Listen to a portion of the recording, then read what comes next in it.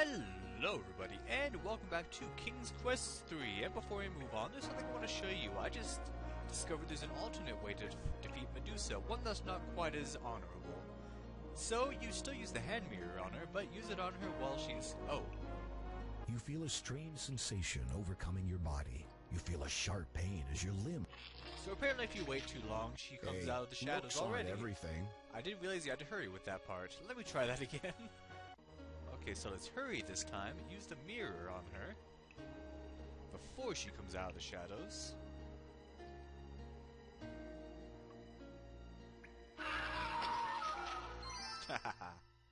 but yeah, that's not the best way to do it. Of course, we had to save Anything you wanted to say should have been said. Yeah, that's kind of the narrator saying, yeah, not the best thing to do. Anyway, yeah, there's another way to do it. Either, either way gets rid of your hand mirror. So yeah, let's uh go back to where I was before. And there's one thing more thing I want to do. I reloaded and just went to sleep without making the cookie porridge. So, because I want to see if uh, Mananan has another conversation for us if we just feed him regular food. Now, something I read, I, I, I guess I overemphasized the need for the porridge because we do need it, but if you give it to Mananan to eat, you can get another from the bear's house. Fact, you can get an infinite number, so don't worry about it, like I made you worry about it before. But he actually, uh, oh, I need to sleep. I forgot that had saved right before the sleep. So sleepy, sleepy. Yeah, he does actually say something very interesting. And if possible, in the next episode, I may even uh, show uh, another conversation. We'll see if there's more. I am hungry. What he has Prepare to say- a meal at once. Is actually really, really um, relevant to the series as a whole. So let me see. Yep, I have the porridge and nothing else. Mananan is impatient. Yes, yes, I know. So give him the porridge.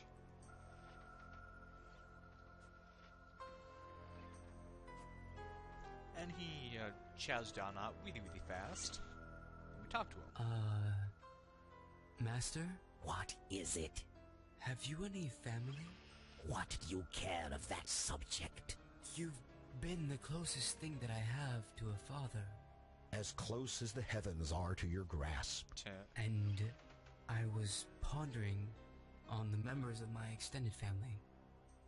If there are any. Hmm, not that it is of any concern to you, but I have a sister and a brother. Neither would be remotely interested in knowing a common servant. Of course, it was foolish of me. Why would they wish to know a lowly urchin? Exactly, though you flatter yourself. My sister would find you too ugly, and my brother would find you too... male. You begin to think that Mananan isn't the social type. Personally, I think you'd make a better scullery maid than what you pass yourself off as now. so we already knew about his sister, Hagatha. We took care of her as King Graham. But what about this brother he mentions? And talking about that he prefers female slaves. Well, that's something for another time. Anyway, let's get back to where we really were before. So last time, we made the last of our spells, and made something a little special for Mananan. You were careful when you crumbled the cat cookie into the porridge. It looks just like a plain bowl of porridge. I've been working on my evil laugh.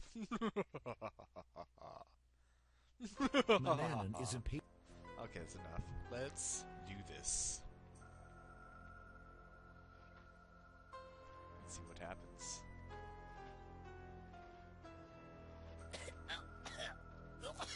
Yeah, he'll do that to you. You watch, barely able to control a smile from spreading over your face. The wizard chokes on his little snack and clutches his throat. He seems to be turning a somewhat bluish color. Oh. I think he might be choking rather than uh, turning into a cat. As the wizard manages to swallow the tainted, once hidden cookie, he greedily gulps the remainder of the porridge. Oh. You watch, hoping for a sign that the spell will begin its work. But it seems the wizard is unaffected. Well, shoot. Um, that didn't work out too well. Something is wrong. I feel strange. Oh. Really? Maybe you should curl up. Have a cat nap. what was in that porridge? A cookie? Yes, sir. ah, the cookie. You know, that reminds me of a poem. Root of mandrake and fish oil, with cat hair over which I toil. I My love it. Spell! Oh, you know that one. You! You! You! Yes? You won't get away with this. You'll be sorry, Gwydion. Oh, you just tried it. My name is Alexander. oh, man. Now that is awesome. Keeping your Change me back immediately, Sorry. Don't know how. Liar. Besides, the spell set is permanent. Keeping your voice down inside the wizard's house was something you learned well from an early age. Oh. Keeping your You won't look so clever once you've been shrunk down to size.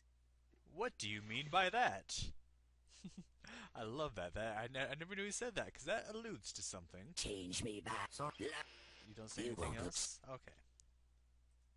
I wonder if the other cat has anything to say about this. Oh, do we need that bowl? Oh, it's gone. Never mind. I guess we didn't need it. so, guess what? No more wizard to worry about. No more clock to worry about. It's still going to be there, but we just don't have to worry about it. So, oh, I need to get my stuff because we can leave here for good. What the? strange, there's nothing in the painting now. That is odd. Not much behind, above, or below the painting. Hmm. Well, I'll tell you right now, that painting was not of Mananan, even though it kind of said it was before. I just don't think it was a picture of Mananan. Well, I think I know who it was. Anyway. Let's say goodbye to this room. We never have to hide anything again. We can take it all. Uh, feels good. Freedom!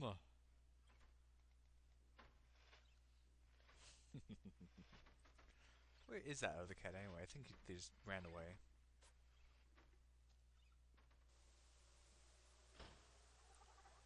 Ah. Say goodbye to the house, because we're never coming back.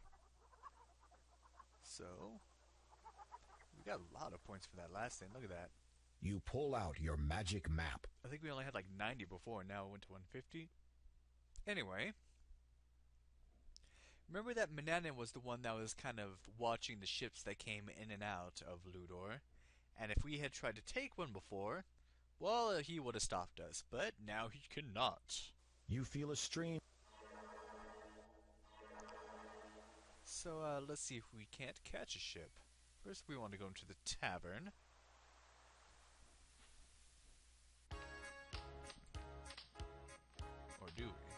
Beat it. Wench! I don't hurry up, hurry up. I can't move until you're done. Hmm.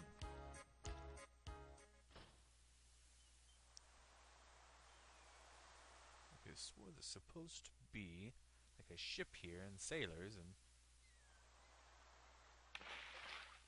there's a fishy there. We haven't been here before. Hmm.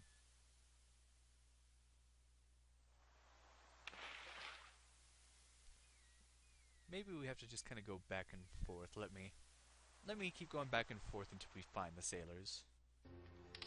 Okay, I seriously spent the last 10 minutes trying to figure out why I couldn't progress with the story. Turns out there's one spell I forgot. Yeah, I checked my inventory. I still had acorns. I was like, why do I still have those? There's one spell I forgot to do. Now I don't think I'd let you leave until you have all the spells, because otherwise the game would be unwinnable. So let's see not causing a deep sleep. I did not do that one. So, uh, let us recite... Oh, whoops. Jeez, he just collapsed. You shouldn't try making up your own spells. Look at that leg. Is that like broken? It's like pointing that way. Uh, I don't know. Just looks awkward, pixelated like that. Anyway, let's do the spell for reals. Alright, time to uh, do this one last spell. Jeez, I thought I was done with this place for good. I even told you guys we're done with this place, but no. You place the acorns in the mortar. You grind the acorns into a fine powder. Nice. Next, pour acorn powder in a bowl. And we actually did get our bowl back from the kitchen. Okay. You carefully scoop the acorn powder out of the mortar. You put the acorn powder into the bowl. Alright, we now have acorn powder. Yay! Nightshade juice. Stir it with a spoon. Let's see. The nightshade. You pour one cup of nightshade juice into the bowl. And use a trusty spoon. You carefully stir the contents of the bowl. Alright. Light a charcoal brazier, boil a mixture. You light the. You place the bowl on the charcoal brazier. You wait until the nightshade juice is almost gone. A damp, powdery substance remains behind in the bowl. Nice. Alright. With mixture from heat, spread mixture on table and wait until it's dry. You remove the bowl from the charcoal brazier.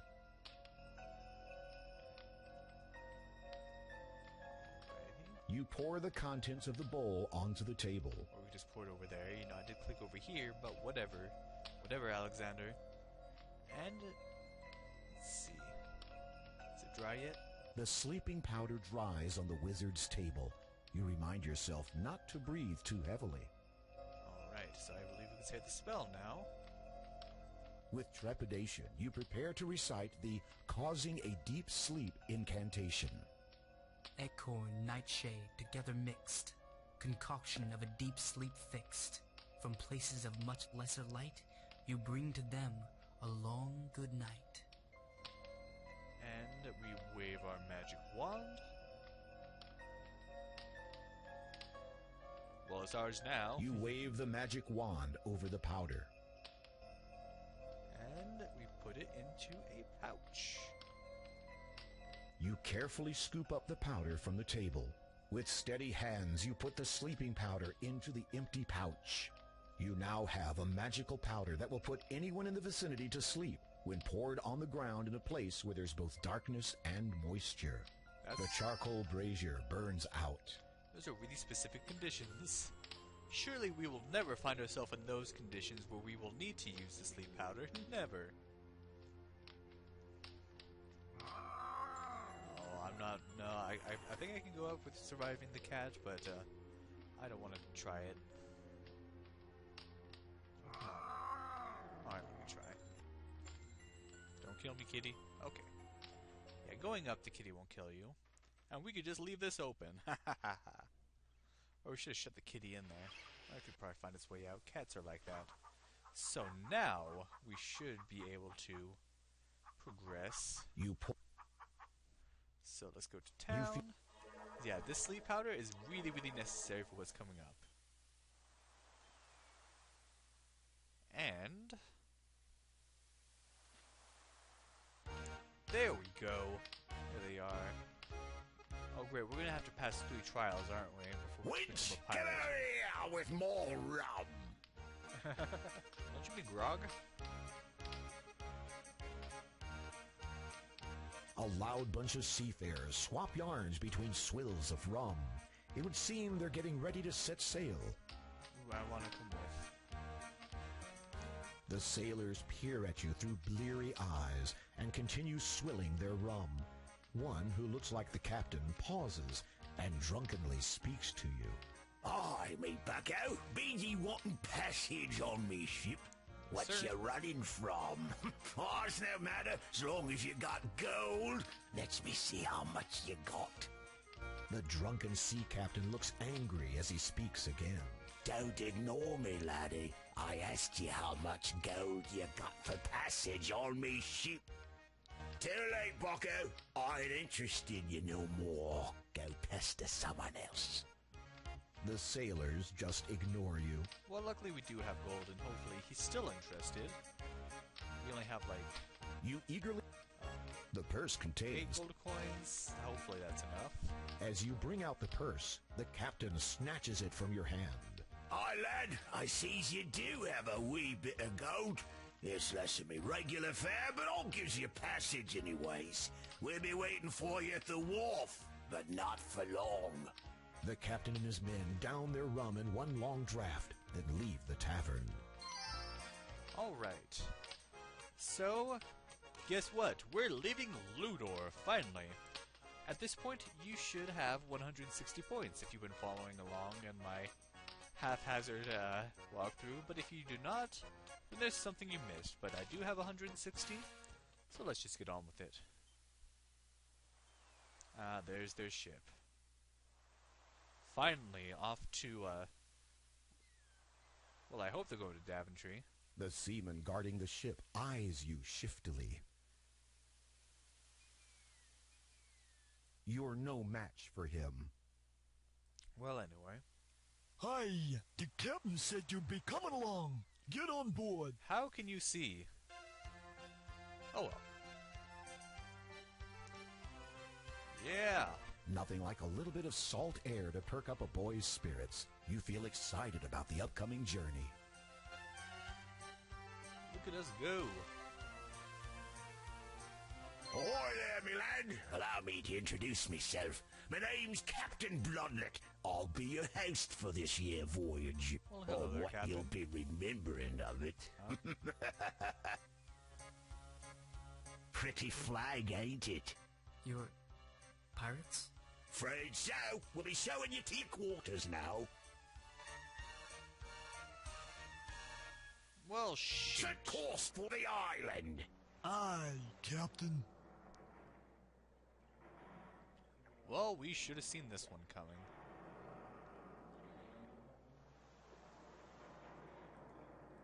Cautiously, you look around the dank cargo hold. Among stacks of wooden crates, a rope ladder dangles partway through an opening above. Hmm. You're not interested in what's inside those crates, and they're too heavy to move. It's just out of reach. And it looks like they've taken all of our inventory. Yep. We still have the dough in our ears, though, so we've got that going for us. You can tell because those rats. Do you know where we're going?